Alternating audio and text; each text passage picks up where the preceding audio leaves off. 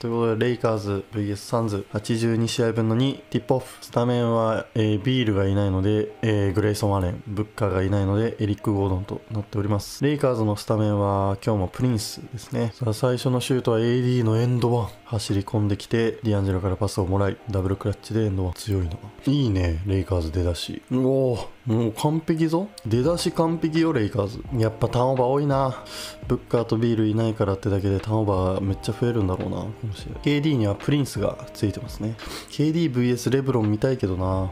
チャレンジ中ね。早っチャレンジ、まあ、今年からチャレンジできる回数が2回に増えたらしいので成功したらもう1回できるっていう。でもこれ成功しなかったらもう終わりじゃない？KD のハンドリングがうまくいかないのはなぜ？手と足が合わさってないですね。ハンドリングっていうと手の話だと思いがちだけど足と合わさって初めてハンドリングになるんで手だけじゃダメです。おおなんか新しいセットやってるけどクソ狭いセットオフェンスじゃんそれ。あチャレンジ成功した？しかも。ちゃんと後ろからはたいてたでしょ判定されたんか。うおーコギーもスリーポイント。やっぱなんか最近すごいねこのノンシューターだけどディフェンスのスペシャリストだから使われてるっていう選手がこぞってスリーポイント上手くなってる。バンダビルドもそうだしオコギーもそうだしオコロもそうだしさすごいなみんな。そうなるとさらただの 3&D だからな。めちゃめちゃ質の高い 3&D ってことだから。おお KD らしいシュート。今の2ドリブルぐらいでフィニッシュ持っていくプレーを増やしたいよな。今ぐらいだったら全然いいと思うエリゴーのディフェンスよさあドラッグスクリーンから左手。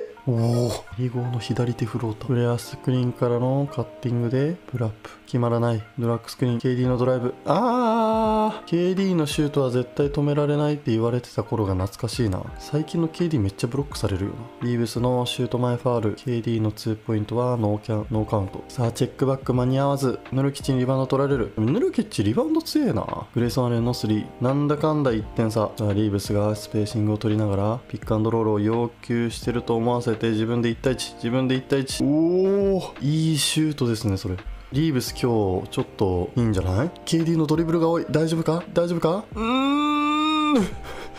惜しい外し方だ。うわー久しぶりに見たぞレブロンの速攻のシュートを落とすやつ。この間の試合は全部決めてたけど今日は1本目レブロン外しちゃいましたね。さあインバーテッドスクリーン。うわープリンスにインバーテッドスクリーンはちょっとディアンジェロド S すぎるわ。彼にそんな能力はない。ちょっとチグハグしてきたぞレイカーズが。おおヌルキッチがめちゃめちゃ指示出してる。KD のお前俺によこせと。お前ポストプレーしろよと。いいね。それ言えるヌルキッチいいな。うわー！今のヌルキッチいいね。KD がドリブルつき続けてなんか多分ピックアンドロールとか要求したんだけどちゃうでってお前相手リーブスなんだからポストプレーせえや一回俺に預けろっつって。俺がもう一回パス渡したるから。いいね。能力は間違いなく KD の方が上だけど。ヌルキチの兄貴分いいですね。来たここでレブロンと変わってルイ八村。ルイウィズルイならず。てんてんててんててんてんてんててんててんてんてんててんててんてんてんててんててん。ウィズルイならず。I can play the point ならずなのよこれ。ルイスリー1本目前回の試合でエアボールした八村さん今日は一発目で決めている。おい渡辺はどこや渡辺は。ボーゲル!貴様八村出てきたぞ。渡辺をつかないとつかさないと。いやまずいんじゃないこれ。KD の1対 1KD の1対1八村のリムプロテクト。 Good D。Good D, man KD をルイブロックヘルプディフェンス。いやでもプリンスもね抜かれずに一発フィジカル入れてちょっと遅らせたのが八村のブロックにもつながったね。素晴らしい。チームディフェンスやこれは。 Good D プリンスがいいよ。やっぱねスピードないやつのねディフェンスはめっちゃ得意なんよプリンスはグッディルイ止めろ。はっはっは止めれてる止めれてる止められてる。リバウンドオッケー。なんで？強えおこぎ。ルイの上からリバウンドをかっさらうおこぎさん。そしてスリーを決められる。これはちょっとこれはおこぎに負けたな今八村。くそウルブズ優勝ってことでいいのかこれは。いやいい勝負やね。サンズが逆転しました。17対16ただまあ全然まだまだですよ。全然まだまだ。層が薄い問題はねやっぱり長い時間で初めて現れてくるものなので4ピリ勝負ってなるとまだまだレイカーズ有利かなって思うからちょっと今のうちに点差広げておきたいねレイカーズは。あーサンズは。ディーロはグッドウィンについてるのか？やっぱ層が薄すぎて早くもグッドウィンが出てきた。そして渡辺の姿がね。なんだって？あヴィンセント出てきた。ヌルキッチリバウンド強いねマジで。何？最強ディフェンダーオコギーがルイ八村についてるだと？くっそ。八村ポストプレーでかましてほしいな。グッドウィンのハンドリング。うーん。グッドウィンがプルアップ3だと。NBA こういうことあるからな。エース2人がいないと思ったら急にサブメンバーが活躍するみたいな全然あるからな。そしてプリンスは入らないと。そして KD がイージーシュート決めると。プリンス？プリンス？オンボールの対人ディフェンスはめちゃくちゃエクセレントなんだけどあとオフボールやな。あー AD 今躊躇したなシュート。今日の AD はダメな AD かもしれん。一発目でシュート躊躇する時って大体よくねえこと多いんだよな。えー、グッドウィンが強いサンズ強すぎん？ Good D ルイ。ポンプフェイク打たない打てない。ヴィンセントの3タフショットだ。AD がボールを持つドラッグスクリーン。ナイスパス。オフェンス。八村か。素晴らしい。さっきは KD をブロックし今度はヌルキッチからオフェンスチャージングをもらうルイ八村さん。バラスーシーですね。さあそろそろ2枚目のドロー。来るか？あ3人交代してる。これは来るだろさすがに。来た。渡辺来た。日本人対決。あームービング？マジでムービングスクリーン多すぎるな。どの試合見ても必ず23回起きるさあヴィンセントのすっぽんディフェンス。ディフェンス。ディフェンス。KD のワンドリブルポンプフェイクミドルシュート決まらない。ドライブ。ちょっとイージーだったな。なあ今度はキャム・レディッシュ。レディッシュが KD ね。確かにちょうど良さそう。レディッシュ KD 止めるのちょうど良さそうやな。八村飛べ。いいチェック。面取ってるけど。ミスマッチ。ミスマッチ。ヘルプポジション。参戦ヘルプポジション。おおようパスしたわそれ。来た。突っ込め。うーんそれはオフェンスや。突っ込めとは言ったけど突っ込めとは言ってないんだ。そういうことじゃないんだ。突っ込めとは言ったけどそういうことじゃないんだ。もっとなんかあるやん。ユーロステップ踏むとか。スクリーンからのゴーストスクリーン。ピンダウン。おー。グッドウィンが打ちやすいようにみんながスペースを空けて回路を作っていく。いやここまでグッドウィンがいいとセイベンリーダメだな俺。セイベンリーのチャンスねえな。うんレブロンのポストプレーに対する合わせがちょっと噛み合ってなかったですね。あヴィンセント2本目もタフ328対18点が取れない。レイカーズ点が取れなすぎる。オフェンスダメダメだった。ウルブズでさえ25点は取ったぞ。チームプレーは全然だったけどマンパワーがあったからなんだかんだ25点取れたけど北 KD のプルアップ230対18点差は開いていくばかり。だがしかしこの男 KD じゃない。レブロン・ジェームズ。この男が黙っていないはず。さあオコギがいない今リトルがついてる。渡辺がヘルプするかあーレディッシュの3も入らない。リアンジェロの3も入らない。渡辺が最後リバウンド取って1ピリ終了30対18そして渡辺雄太がレブロン・ジェームズじゃないのか。リトルの方が対人ディフェンス上っていう評価をされてますねってことは。序列で言うとオコギリトル渡辺裕太かな今のところは。そうやね。しかもレブロンは渡辺裕太を狙いましたね、まあ、2ピリ行くまでちょっと時間があるので最後のシーンだけ、えー共有したいと思います。このシーンですね。最後時間がない時にレブロンが何かを要求していますがこの要求は、えー渡辺裕太リトルじゃなくて渡辺を狙うためにスクリーンヴィンセントがスクリーンして渡辺裕太をアタックできるように。でアタックして渡辺が吹っ飛ばされて全員で守らなくちゃいけなくなってコーナーがフリーになってレディッシュがフリーでスリーまあ外れたけど、うん。まあ、レブロンのやりたいことはできてたのかなっていう気がしますね。でもワンチャン今レブロンがポイントガードやってるパターンないこの1ピリの6分から。気のせい。表記上はガードではないだろうけど。ナゲッツ戦も1クォーター残り6分から4点。なるほどね。じゃあこの1ピリの最初の変更。でも最初の変更八村塁なんだけど。でも6分からって言ってもさっき八村スリーポイント決めたからあれじゃない？八村が出てきた時からを6分と捉えるんであれば今日は5点取ってんじゃない？ちょっと早くなったり遅くなったりするじゃん。出すのが。6分30秒とかさ。5分40秒とかさ。八村が出てきてからがまあ半分だよなちょうど、まあ、それでも5点しか取れてないのかいい感じだけど。レブロンとディアンジェロがいない時が課題か。レイカーズの。さあスロットからのドライブ。うんこれは今ローポストにいるディフェンダーがもっと早めにヘルプしなきゃいけないですね。ユーバンクスかな。さあ2ピリがスタートしております。八村がランニングしてる。ランニングからのドライブ。初めてじゃない？プレシーズンでもミドルシュートばっかだったからな。レイアップ行ったの初めてかもな。あ八村がいなくなってる。最初の6分だけ出て、えーツインタワーですね、えーナゲッツ戦と同じくこの時間帯はウッドとヘイズのダブルツインタワー。あーウッドが。ターンオーバーからのエリゴーの3でかいヘイズ。でナゲッツ戦と同じローテーションであればとりあえずジャクソン・ヘイズがあと2分ぐらいしたら AD と23分で AD と変わるはず。確か、えーこの時間帯はディアンジェロレブロンレディッシュヘイズウッドだった。今日は？レディッシュいないんじゃない？あヴィンセントになってる。レディッシュのとこがヴィンセントになってますね今日は。ちょっとサンズも KD がいなくなって得点が止まってますね。ディアンジェロがフリー。これは決まるんじゃない？さすがに。ナイス。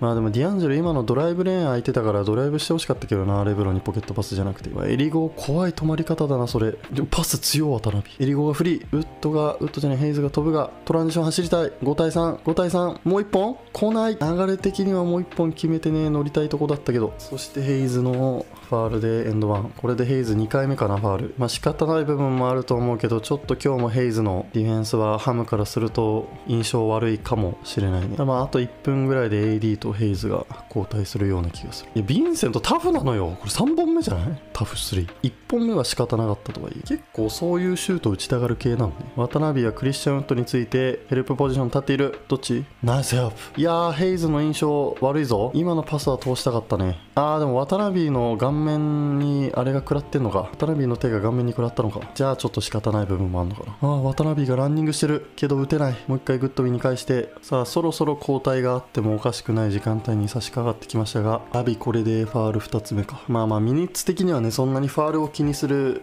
選手ではないというか、まあベンチメンバーだからどんどんアグレッシブなディフェンスしてほしいですね。ああ AD が準備してる。これはヘイズと交代じゃない？んですよね。はいということでやっぱりヘイズが交代させちゃいましたね。されちゃいました。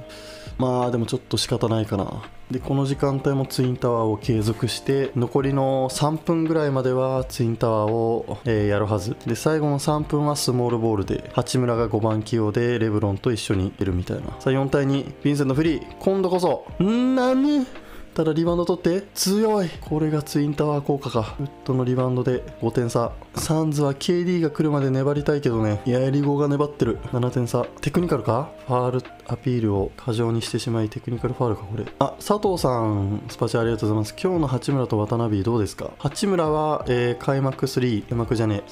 最初の3決めましたね。ただそれ以外はあまあでもそれ以外もあったか。KD ブロックして U 番、えーヌルキッチからチャージング奪ってであとトランジションでドライブして自分がオフェンスファールになってしまってこれ4つぐらいかな目立ってたのは。で6分経過して、えー交代しましたね。で渡辺はねあんまりあの目立ってないんだけど今日はねちょっとランニングしてますね。目立ってはないけど渡辺ガチ勢からすると今日はちょっとランニングしてもらえてるっていうのがちょっと伝わる。ただそのシュートを、えーレイアップで外したのが1本と、えーそもそも3打てなくてグッドウィンにパスを返したのが1本ぐらいかな。あとはレブロンにやっぱり最後のポゼッションで渡辺を狙われてしまったっていうのと。渡辺この前も言ってたけどルカとかレブロンみたいなオールマイティ系に狙われがち。そうやな。渡辺がゴーストスクリーン。メンバーは何も変わってないね。このタイムアウトでレイカーズ。は黄色のユーロステップエロいエローあーエリゴーが危な。さあ渡辺がコーナーステイしている。クリスチャンウッドに付かれているが渡辺3打てるのか。そもそもパスが来る。かあ入った。入った。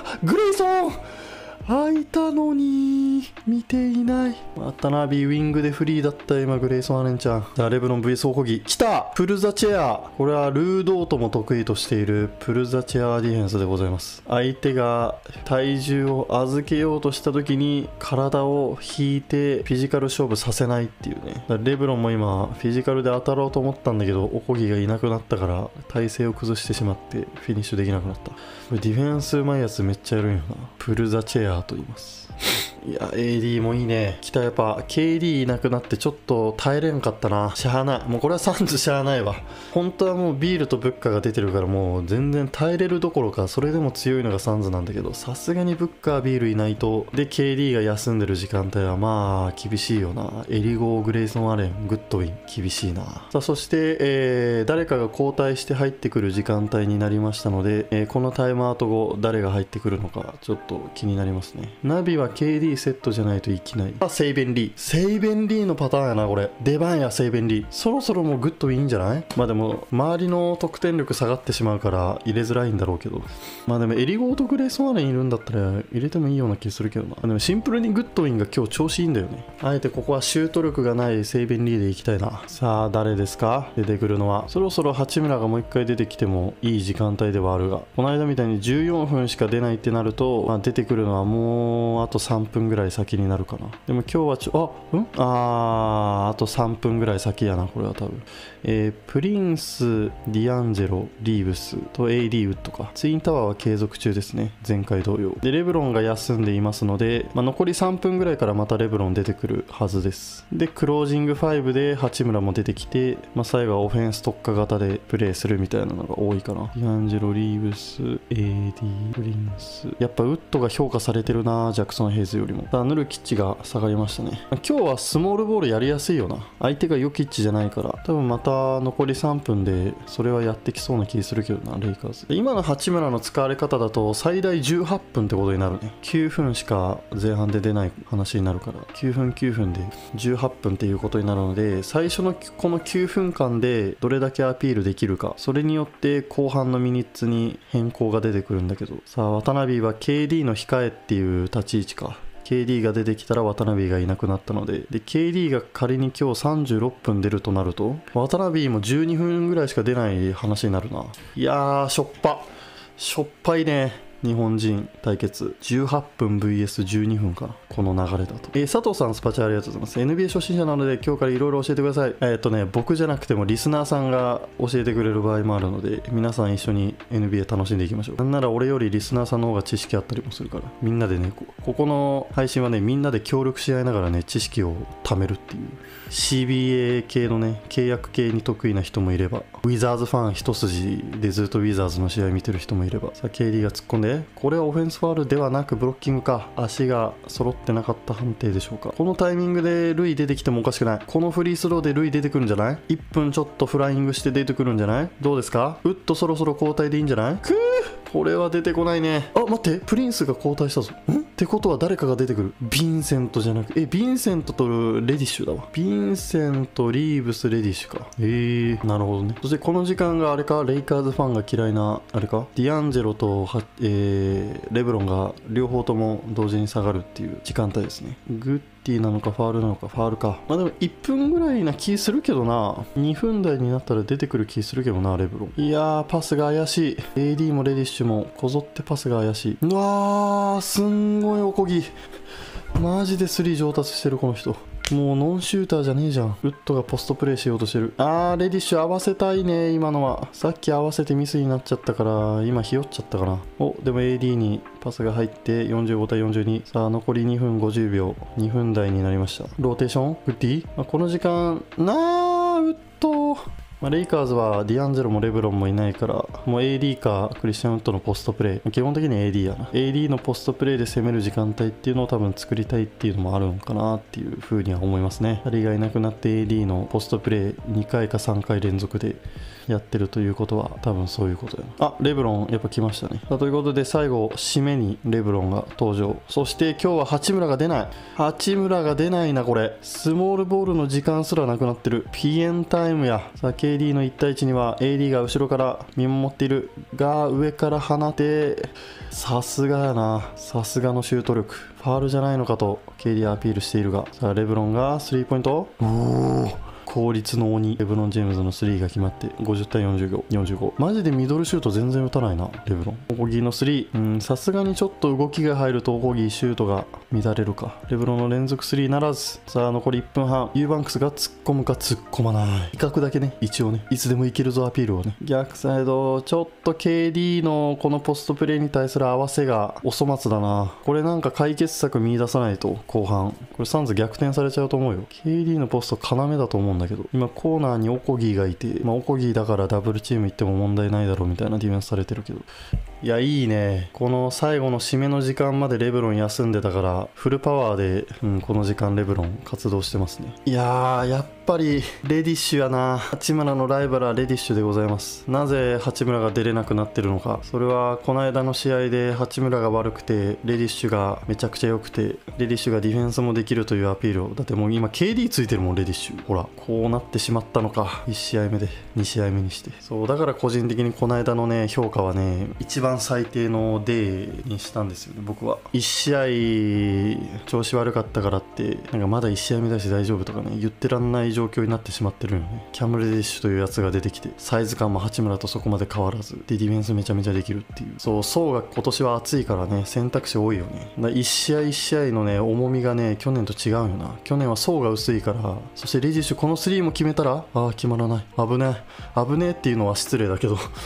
八村目線からするとレディッシュの3が外れてよかったね。レディッシュの評価が落ちないことには八村使われないと思うからなかなか。さあここで前半終了52対48サンズがブッカーとビールがいない中で4点リードしております。いや面白い試合やったな前半戦。